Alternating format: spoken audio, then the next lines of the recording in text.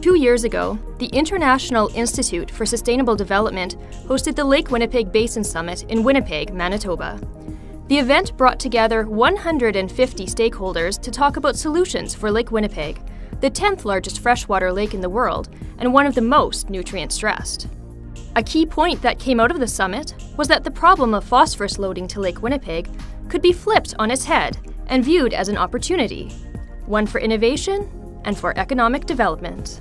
It's fundamentally illogical to be dumping thousands of tons of this scarce and precious strategic resource into the bottom of Lake Winnipeg when we can be capturing, recycling, and transforming this into high value biomaterials. Phosphorus is critical to agriculture and to global food security. As the steward of Lake Winnipeg and the recipient of nutrients from three other provinces and four states, Manitoba sits on a remarkable sustainable development opportunity, one that could be good for the economy, the environment, and for all Manitobans. What's needed is the vision, innovation, and entrepreneurship to take advantage of this opportunity. After the summit, IISD took ownership of making into reality the idea of a bioeconomy. An economy in which the basic building blocks for industry and the raw materials for energy come from plant based renewable resources. Two years on, IISD has made significant progress with its partners in exploring how the bioeconomy can be developed in Manitoba. In the fall of 2012, IISD proved that large scale harvesting can be done of the extremely common, fast growing, and underappreciated wetland plant, the cattail. In total, IISD harvested 850 cattail bales. Yes, cattails can be baled just like other crops. At Netley Libau Marsh at the south end of Lake Winnipeg, in ditches along the Trans Canada Highway, and at Pelly's Lake in the LaSalle Redboine Conservation District.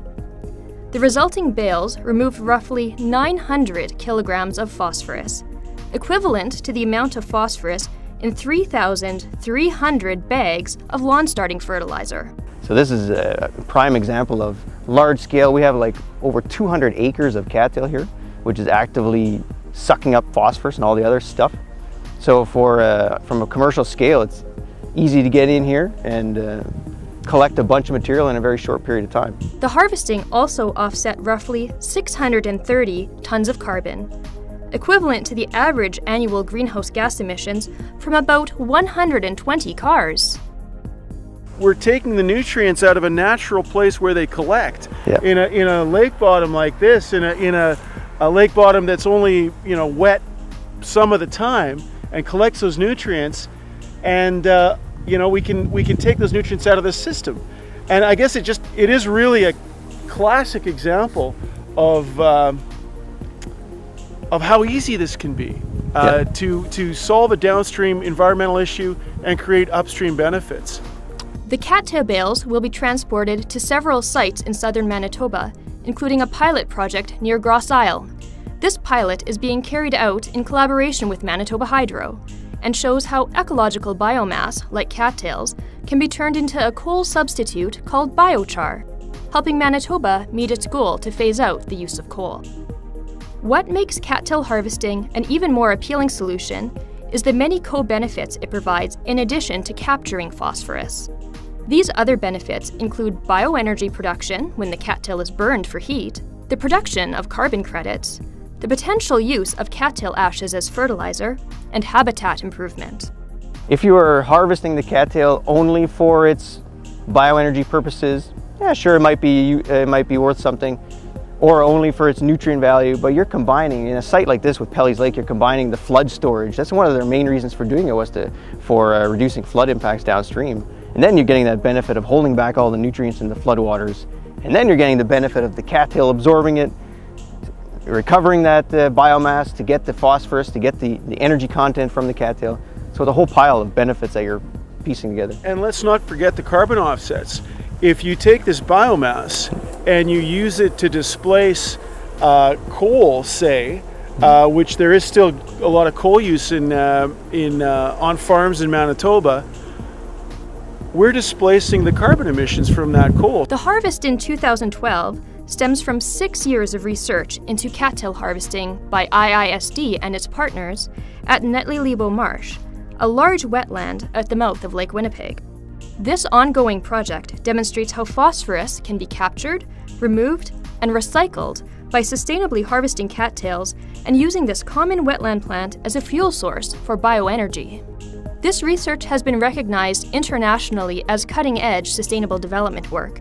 In June 2012, the project was acknowledged as part of the Sustainia 100, one of the top 100 sustainable development solutions in the world, at the United Nations Conference on Sustainable Development, Rio Plus 20. The project also received a Manitoba Excellence in Sustainability Award for Innovation and Research for Sustainability. So, what's in the future for IISD's work on Lake Winnipeg? This is the beginning.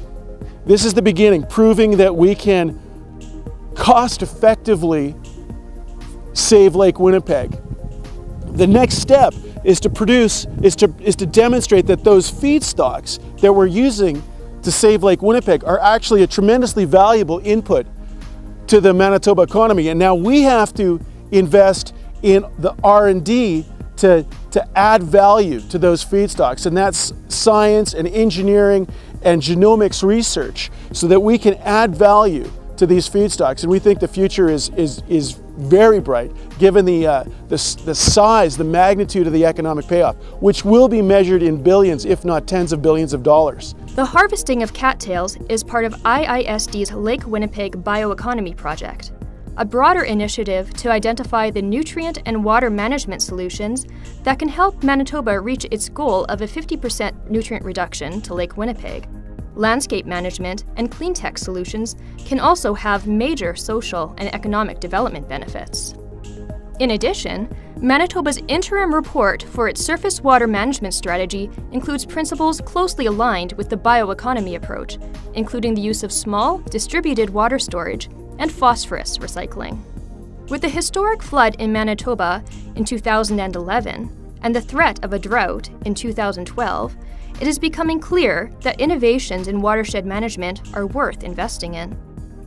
By developing value added approaches related to the bioeconomy, such investments can pay for themselves many times over and help ensure a healthy and sustainable Lake Winnipeg Basin for generations to come.